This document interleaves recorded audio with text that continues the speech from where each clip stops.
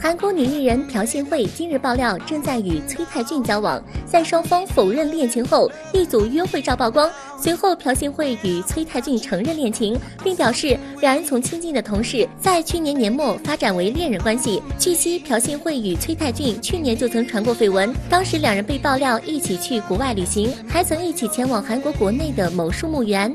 当时两人的经纪公司都否认了两人正在交往。非凡娱乐整理报道。